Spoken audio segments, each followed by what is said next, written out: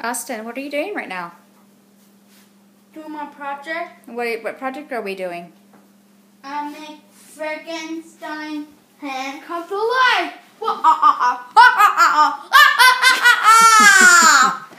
okay, so what are you doing right now? Um, well, I'm I'm coming towards. Put it right here. Okay. Keep on going. Okay.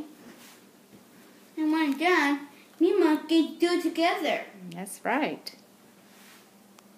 And, and my dad's watching. Um, dad say hello.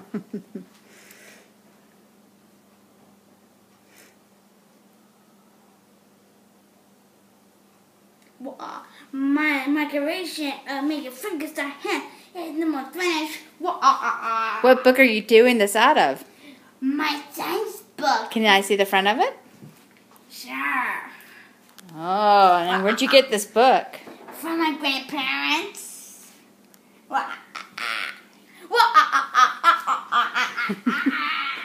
All right, you keep on going. You keep on writing your notes. Mom, just come in. Dr. Austin. I'm yeah. Austin. I'm a scientist, the evil scientist of the law. Besides, this is my lair. I mean, welcome to my lair. Well, uh, uh, uh. well, my preparation is almost complete.